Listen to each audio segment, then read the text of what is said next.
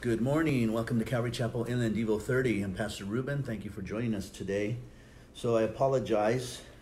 I had a appointment today that I was supposed to make, and it actually did take place, but I was able to get over it real quick and then run back to the church here. And so we're going to go ahead and continue on with our Devo 30, and hopefully we'll get a few people on. I know that you were not expecting me to be on today, but I am on today.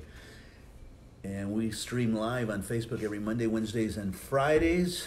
And if you're in the neighborhood, you'd love to join us here, you're more than welcome to join us. You can look us up at uh, ccinland.org. ccinland.org. And today we're beginning a new letter in Second Thessalonians, written by the Apostle Paul. So let's go ahead and pray. Gracious Father, we thank you, Lord, for for opening up, Lord, this possibility to just dig into the Word again, Lord. And as we go through it, Father, uh, letter by letter, chapter by chapter, verse by verse, Lord, may you minister to us right where we're at, Lord. And Father, may it be your Holy Spirit, Father, that reveals all truth to our hearts, Lord. And Lord, may it um, change us from the inside out, Father. Let us receive it, accept it, believe it, and apply it to our lives, Lord, that we may continue to have blessed lives, we thank you for today, Lord, and beginning our day with, with you and your word. In Jesus' name we pray. Amen. Amen. Amen. All right, so let's look at Second Thessalonians. Open up your Bibles. Um, real quick, just give you a little survey of the book. Paul is still dealing with with some um, issues that are being pushed within the church itself by false teachers. False teachers. You, will always have false teachers, just like you did uh, during the time of Jesus and the Apostle Paul. In fact, most of the letters that are written in the Bible are due to the fact that these false teachers had come into the church and have told lies and confused the body of Christ, and Paul having to correct them uh, of these false things. And so, nothing new here with the Thessalonians. You know that we dealt with uh, the issue of Jesus' return in chapter 1, and they're still at it today. You know, it's interesting when you look at some of the false teaching that's out there. If you were to do a, a, a, survey of each of the false teachings, you can actually trace them back all the way to the times of Paul. And they just they resurface here and there, but with different names, because the enemy doesn't have a whole lot of ammunition. Uh, tells the same lie over and over again, but normally he calls it something else you know, so calls it either Reformed theology, you know, replacement theology, and these are theologies that are out there that are that are false, um, that are not true, and um, Paul has to deal with those those theologies um, in different churches, and so we see that um, even today taking place. So that's why it's so important to know your Bible, right? Know what the Bible teaches, read it, study it. And uh, you won't be deceived by those um, within the church. And they are within the church, unfortunately. They come into the church, they pretend like they're believers, and they may be believers uh, to a certain degree, but then they have their their different views on different doctrines, and for whatever reason, they they really hold on to them and uh, want everyone else to believe it too. So Paul is dealing with that. He's writing to the Corinth to the Thessalonians here from Corinthian around AD 51. So he's encouraging them, explaining the day of the Lord, which you'll get in more detail in chapter 2, and exhorting the church. Encouraging encouragement during persecution is always good for us to do. When a brother or sister is being persecuted, we should encourage them. We should be there for them, uh, whether it's financially, or whether it's through prayer, or whether it's through support of some sort, um, just being there for them. And it's also good to explain things to uh, one another why we believe what we believe, why we do the things that we do. Uh, why the Bible says this or that, you know. So explanation is good, and every pastor should be able to give you an explanation uh, for the word. And then, of course, the exhortation to the body of Christ through the whole church. So let's go ahead and get into chapter one. It's a short chapter so we may be done a little early. But Paul introduces himself here Paul, uh, Silvanus, and Timothy. Uh, Timothy was Paul's companion, young companion, uh, protege, and he poured his heart into Timothy, uh, teaching him as much as he could. And Timothy ended up uh, becoming a pastor uh, of a church. And Timothy learned a lot through the Apostle Paul. We'll be getting to his letters here real soon. And he writes to the church of the Thessalonians in God, our Father, and the Lord Jesus Christ. so interesting that he says the church. Now, that word church again is where the people are gathering in a building. That's what it's saying here. To the people who are gathering in the building there in Thessalonica, uh, in God the Father and the Lord Jesus Christ. So important that when you read these epistles, that you see that they're always uh, beginning with that sense that this is the church that belongs to God the Father, the Lord Jesus Christ, and the Holy Spirit, who is the one leading and, and guiding them. So you have that Trinity and that relationship that God has with us. It, it's not to the church in Thessalonica uh, in the Mormon church or the Jehovah Witness church or you know these other churches that are out there. No, it's in God alone, the, who is the Father, and through Jesus Christ. There are no no names or denominations in heaven. You know, it, it's going to be just the Lord and you in the end. We all stand before Him, and He will judge us all in our faithfulness. It says, "Grace to you and peace from God our Father and the Lord Jesus Christ." Now we are bound. We're bound which means uh, uh, to owe in a sense. In other words, we, we owe, we owe it to thank God always for you, brethren, as it is fitting because your faith grows exceedingly and the love of everyone of you all abounds towards each other. So if you're a church, that's what you want to be known for, right? Is your love and your faith in Jesus Christ.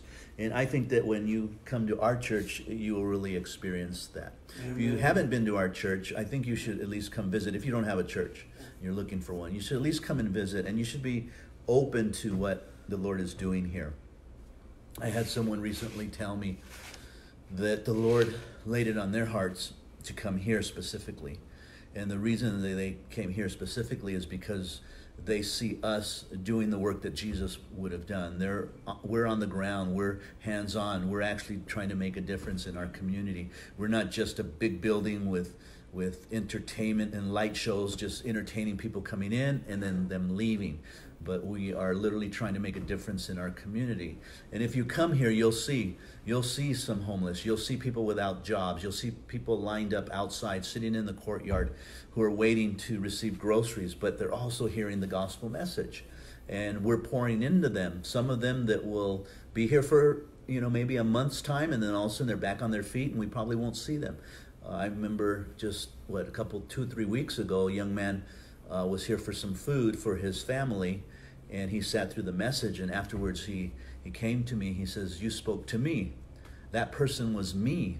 And he said, "I don't know what to do. I, I, I need Jesus. I need to surrender my life." And so I led him to the Lord. And so this is what's happening in our church. Almost every Sunday, we're seeing people changed and coming to the Lord. Um, this last week, several people came to the Lord. Yeah. And so God is just moving. So I encourage you if you're looking for a church and you want a church that's actually active, yeah. you know, and doing something, then this is the church to go to. If you're a person that just wants to sit in the pews and do nothing, then this isn't the church to go to. Because I think that uh, I think that because of the size of our church, I think you'll feel convicted. I think you will you'll sit there and you'll leave and then you'll come back and you'll go i'm not really doing much. And i don't really have a desire to do much. Well there's a problem there first of all because every believer should be serving the lord. And, and, so you'll start feeling convicted like oh boy every time i come there and i see people serving and doing things and here i am not you know doing anything and, and people are just into their lives. They're into their own lives and that's it. I went to my chiropractor uh, last week and I said, I'm going to be coming to you probably every three, maybe four weeks until I go to South Sudan. He goes, Ooh, South Sudan. And he goes, I'm not going. I'm like, Oh, you don't want to go? Come on, come with me. It would be great to have you there. He goes, No, no, no, no, no. I want to stay here in the United States where it's safe. A lot of stuff is going on. Oh, there's only hippos over there and crocodiles and alligators and there's civil war and you know and all of this stuff. And, and he's like, no, I'm I'm fine here. And so we were kind of joking about it. And um, I said, You should support me. And he goes, No, I have to support my family. You know, and I, and I caught that right away. And it's like, that's the mentality, right? Let us just be concerned about my own personal family and not anyone outside of that. And then he shared some things about what's going on in his family, and I told him I'd be praying for for his family. But that is truly uh, a lot of people. You know, no, I don't go outside my own walls. You know, I'm going to stay within my walls and use all my resources for my own family. That's not what God teaches us. He teaches us to go outside that. It's better to give than to receive. Now, well, I'm giving to my children or to, yeah, but outside of that, the church is supposed to do that. And so there's those people that have that, that mentality not to give outside. And they're stuck there because they're really not going to go anywhere. It's when you start serving that God begins to move in your life and bring so much uh, great teaching to your heart. There's change, there's attitude, um, adjustments, and God is just so good at doing that. So, this church is the Church of Jesus Christ and they have love and their faith is growing. And paul says man I, I, owe it to you to pray to pray always for you because you're doing so much in all that you're abounding towards one another. Now he didn't say towards your family. He said towards the brethren the other believers too. Uh, i think uh, somewhere else paul said you know do good especially for those of the household that is those that are believers in the church. So he goes on so that we ourselves boast of you among the churches of God for your patience and faith in all your persecutions and tribulations that you endure. So, this is common in all the churches persecution and tribulations. You'll always have persecution and tribulations happening in church. I think that if you're a church that is doing God's will, that there will be persecutions and tribulations or afflictions happening from the outside and even from the inside. You look at the life of Jesus and you see the afflictions that the apostles caused him at that time, the disciples, right? Always murmuring, always complaining, always bickering against each other, even getting their moms involved. Hey, mom, go see if I'll sit at his right hand or his left hand, wanting to position themselves, you know, and, and so forth. And, and then you have Judas Iscariot, you know, who was uh, kind of behind the scenes, and he was literally he was literally planning and scheming you know, to do harm uh, to Jesus Christ, and ultimately he he betrayed him. And so, if Jesus going to go through it, and I think it's sign of a healthy church uh, that uh, there is persecutions and tribulations that we need to endure through. He goes on, which is manifest evidence of the righteous judgment of God, that you may be counted worthy of the kingdom of God, for which you also suffer since it is a righteous thing with God to repay with tribulation those who trouble you. So God is our uh, defender. We need to leave things to God. We're going to see tonight, if, if you're in the area and you love to come to church tonight, we're going to be looking at Numbers chapter uh, 12, and we're going to be looking at the fam- my, I themed it uh, Family Feud. So Moses, Aaron, and Miriam are going to be in a little debate but you'll notice something about Moses that as these things are going on, the accusations from Miriam and then Aaron supporting her, um, Moses never says a word. He never defends himself. He never tries to correct them. He just leaves them to God. And then it was God who all of a sudden comes into the scene and says, You don't know what you two are talking about because I have chosen Moses. You have not chosen. And I have the right to choose who I want to choose to put in leadership. You know, because they were they were saying, well, he's married to this woman, bad judgment. He's also a prophet, but we're prophets too, and we can prophesy just like he can prophesy. So, you know, he doesn't have anything we don't have. The only thing he has is that God chose him for that position. And so God actually came in and gave leprosy to Miriam. Uh, so God did that work. And so in the end, uh, they were so repentive in a sense because they got caught and they realized they were wrong. And so Aaron came to Moses, kind of like a mediator, and said, Moses, please pray for your sister Miriam. Could you please? And then he prayed. He opens his mouth and asks the Lord to, to heal her. Those are the only words that we see Moses say. So he never defended himself, never said anything, but he prayed for his enemies. He prayed for those who were persecuting him. You know, so that says a lot about Moses. So when he says that he was the, the meekest man, you know, the humblest, he definitely was, but he wasn't always, was he? Uh-uh. So he had to learn those things through trials and so forth. So we're going to see that tonight in more detail. So I encourage you to to be here tonight or watch us on Facebook Live. uh, since it is a righteous thing with God to repay with tribulation those who trouble you, and to give you who are troubled rest with us when the Lord Jesus is revealed from heaven with his mighty angels in flaming fire, taking vengeance on those who do not know God and on those who do not obey the gospel of our Lord Jesus Christ. And so he's referring now to the second coming, not the rapture, but the second coming of God, that there's a judgment coming and God will bring vengeance upon the unbelieving world. Right now, He has grace, and we should too have grace upon the unbelieving world and hopefully share the gospel with them that they may repent. Now, these shall be punished with everlasting destruction from the presence of the Lord and from the glory of His power. Now, interesting because this is everlasting destruction because there's this theology, this teaching, false theology, that, that hell is temporary. That how can a loving, caring God send people to hell for eternity? Right? How can a God do that? Well, he's a just and righteous God. That's how. And if he wasn't, then it wouldn't be a God to worship because there's limitation there. So God isn't sending us to hell, by the way. We choose to go to hell because he's already paved the way He's given us the answer. He's given us a solution. All you simply need to do is receive Jesus Christ into your heart and you'll be saved. You'll go to heaven. But we choose not to accept that. So what does he do? You'll be separated from the Lord, he says here. Now that's interesting because all of that ties into God's heart. Division is separation, right? When we look at tonight's study, we're going to see that these two are dividing Moses against God. They're trying to separate Moses and God. They're trying to say, God, you need to use us and not Moses. Moses is no good. That's division, that's separation. Uh, God says that He hates divorce. Divorce is separation. It divides a, a, family. It divides a husband and a wife, and then it divides the children from parents. Because then you see parents who start bad mouthing the other spouse, you know, and trying to get the kids to hate them too, which is despicable for them to even do.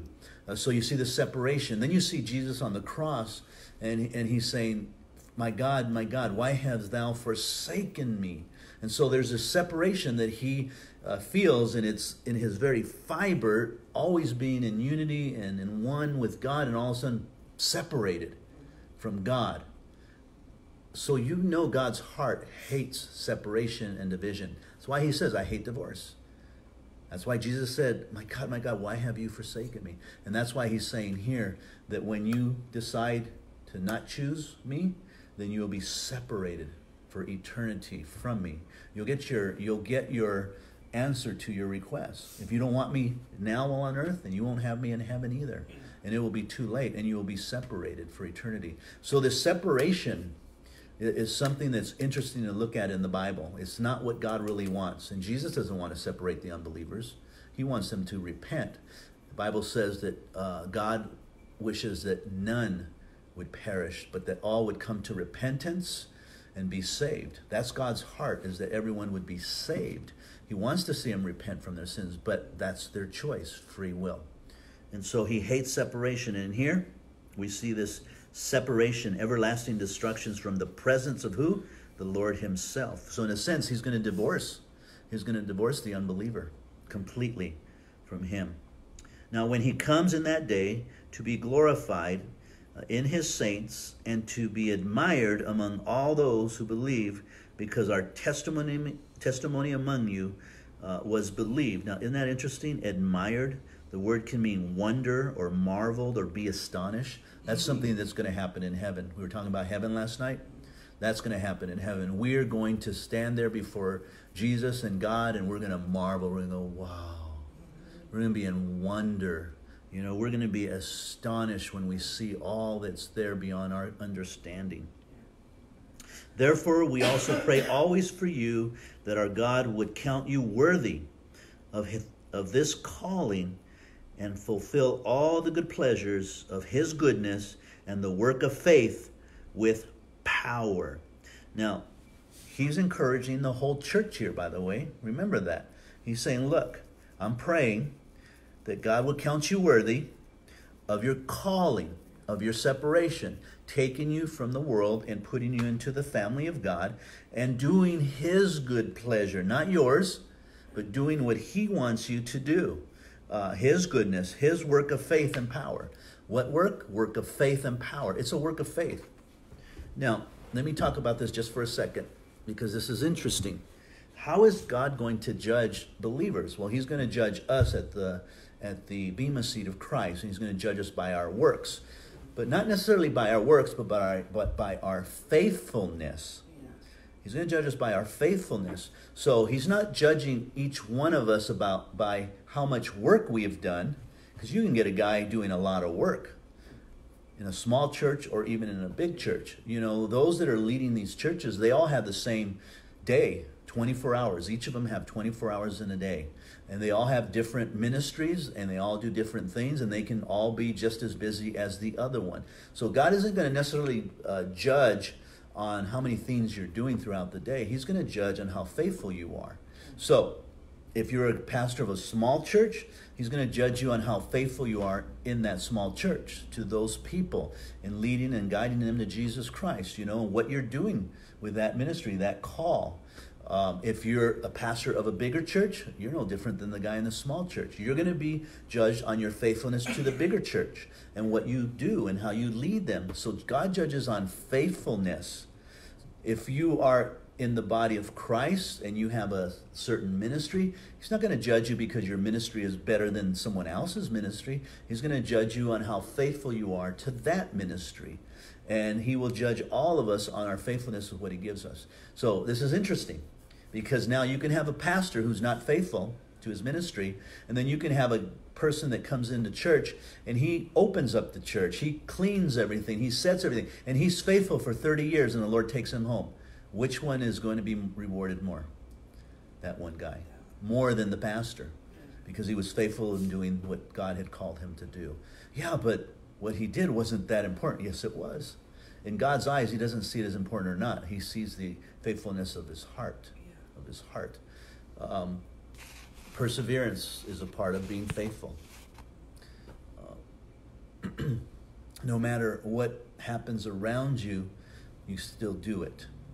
No matter if people leave, you still do it because God has called you to do that. He didn't call you to do it if people stay, if things go the way you want, if you have the resources. He didn't call you, He just said, be faithful with it. That's what faithfulness is. It means suffering through persecution. So even as you're suffering through persecution, you continue to do it. Um, I remember watching uh, someone going on a missions trip, and in the background, I could see a person in a wheelchair and with a neck brace, and I thought, wow. So they must be in pain. They're in a wheelchair, but still they wanted to serve the Lord.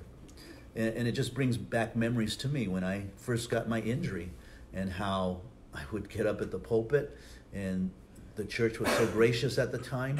Uh, not that it's gracious now, but it's gracious. Uh, they put a chair, a nice, comfortable chair, like a, a nice uh, armoire chair, and I sit on it with my foot up because I had ruptured my Achilles tendon, and I would teach from there sitting. And, so it was cool because they would all set that up while we were all introducing ourselves and saying hi to people and then I'd get up there and I'd teach. And then as soon as I was done, I'd go home and just lay in bed again. And I did that for at least a couple of years while I was injured. Was I in pain? Yes, I was in pain. But God called me to pastor here. And so I did that. Could I have maybe asked someone else to do it? Yeah, I probably could have. But I would have just been in, laying in bed in pain. So why not be here teaching in pain? Then you become faithful to what God has given to you. So it's persevering through those things, and God's going to judge us on our faithfulness. That the name, verse 12 to end, that the name of our Lord Jesus Christ may be glorified in you, and you in him, according to the grace of our God and the Lord Jesus Christ. So this is the grace that God gives us. And he gives each one of us abundance of grace. It's unmeasurable, and it, it, it never is exhausted. He has always given us grace. So do as much as you can through the grace of God and be faithful with what he gives you and you'll be blessed. so Paul's now setting up, you know, the stages for chapter 2 and he's going to talk about the day of the Lord. And that will be on Friday when we talk about the Lord's return. That's exciting. So God bless you guys. Um, thank you for joining us. I know short notice, not too many were here because of uh, the situation, but I appreciate it. If you have any prayer requests, please post them and, and we'll pray for you as we're praying here. Let's go ahead and pray to close. Father in heaven, we pray that you just guide us and lead us today, Lord. Number our steps, Father. And help us, Lord, to be faithful with what we need to do today, Lord. Just today, not worry about tomorrow. Not even worry about what happened uh, yesterday, Lord. That's gone. We can't get it back. Let's just move forward uh, to, to through today, Lord. And let us glorify you, Father, in everything that we do. I pray you bless your people, encourage them, strengthen them, heal them, Lord, if they're sick, meet their financial needs, Father, and just let them abound, Lord, in their faith and in their love for one another. In Jesus' name we pray. Amen. Amen. God bless you. Have a wonderful day, and we'll see you tonight.